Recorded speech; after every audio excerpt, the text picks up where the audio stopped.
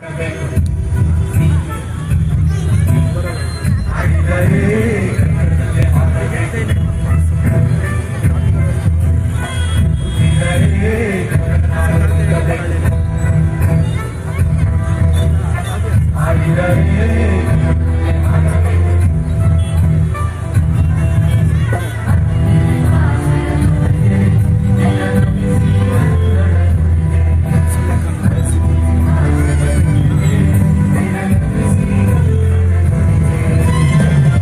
ಹಾಗೂ ತಂಡದಿಂದ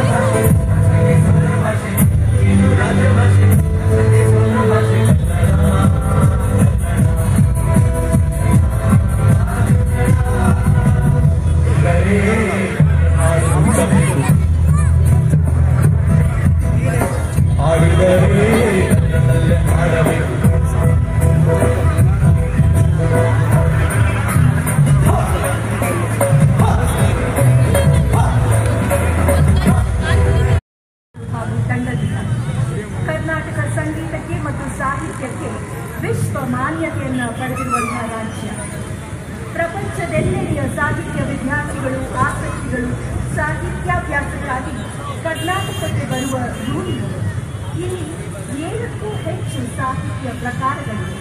ಇದರಲ್ಲಿ ಬಹಳ ವಿಶಿಷ್ಟವಾದದ್ದು ವಚನ ಸಾಹಿತ್ಯ. ಹಾಡಿದರೆ ಹಾಡಾಗುವ, ಓದಿದರೆ ಗದ್ಯವಾಗುವ ವಚನ ಸಾಹಿತ್ಯದ ವಾಗ್ಮತೆಯಲ್ಲಿ ಈಗ ಪ್ರಾರ್ಥನೆ ಶ್ರೀ ಹಂಸಲೇಖ ಶ್ರೀಮತಿ ಲತಾ ಹಂಸಲೇಖ ಮತ್ತು ತಂಡದ ನಿಮ್ಮೆಲ್ಲರ ಚಪ್ಪಾಳೆಯ ಮಂತ್ರಾಕ್ಷತೆ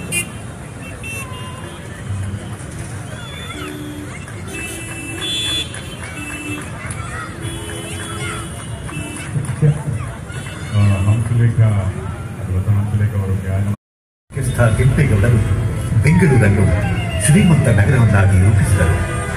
ಮಿಲಿಟರಿ ಕಂಟೋನ್ಮೆಂಟ್, ವಾಟರ್ ಟ್ಯಾಂಕ್, ದೇವಾಲಯಗಳು ಮತ್ತು ವ್ಯಾಪಾರಿಗಳಿಗೆ ವೇದಿಕೆಯನ್ನು ಒದಗಿಸುವಂತಹ ನಗರವನ್ನು ನಿರ್ಮಿಸುವಂತೆ ಅವರು ತಿಳಿಸಿದರು.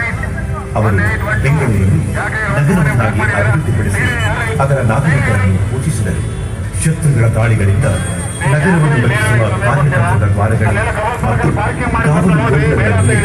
ದೊಡ್ಡ ಮಣ್ಣಿನ ಕೋಟೆಯನ್ನು ಅವರು ನಿರ್ಮಿಸಿದರು ಅವರು ಬೆಂಗಳೂರಿಗೆ ರಸ್ತೆಗಳು ವಸತಿ ಪ್ರದೇಶಗಳು ದೇವಾಲಯಗಳು ಮತ್ತು ಮಾರುಕಟ್ಟೆ ಕೇಂದ್ರಗಳನ್ನು ನಿರ್ಮಿಸಿದರು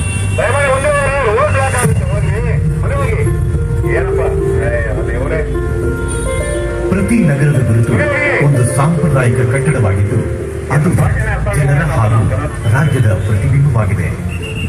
ಮುಂದೆ ನಡೆಯಬೇಕಾದ ಕೆಲಸದ ಬಗ್ಗೆ ತಿಳಿದಿದ್ದ ಹಾಗೂ ವಿಧಾನಸೌಧವು ಪ್ರತಿಯೊಬ್ಬ ಕನ್ನಡಿಗನ ಪ್ರತಿಬಿಂಬವಾಗಬೇಕೆಂದ ಆಗಿನ ಮುಖ್ಯಮಂತ್ರಿ ಶ್ರೀ ಕೆಂಗಲ್ ಹನುಮಂತಯ್ಯನವರು ನಿರ್ಣಾಯಕ ವ್ಯಕ್ತಿಯಾಗಿದ್ದರು.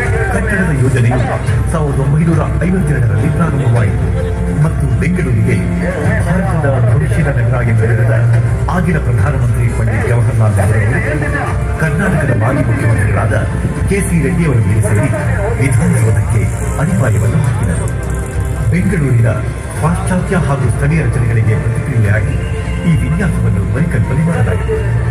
ವಿಧಾನಸೌಧವನ್ನು ಸ್ಥಳೀಯ ಮೂಲದ ಗ್ರಾನೈಟ್ನಿಂದ ಕಟ್ಟಲಾಗಿದೆ ಮತ್ತು ಐದು ಸಾವಿರಕ್ಕೂ ಹೆಚ್ಚು ಕೌಶಲ್ಯವಿಲ್ಲದ ಕಾರ್ಮಿಕರು ಕಲ್ಲುಪುಡಿಗಳು ಹಾಗೂ ಒಂದು ಸಾವಿರದ ಐನೂರು ಬಡಗಿಗಳು ಈ ಅದ್ಭುತವಾದ ಸ್ಮಾರಕವನ್ನು ಮುಗಿಸಲು ಶ್ರಮವಿಲ್ಲದೆ ಕೆಲಸ ಮಾಡಿದ್ದಾರೆ. ಶ್ರೀ